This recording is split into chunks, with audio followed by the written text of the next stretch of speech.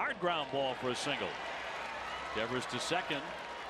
And DeShields left it behind. DeShields throws to second and got him.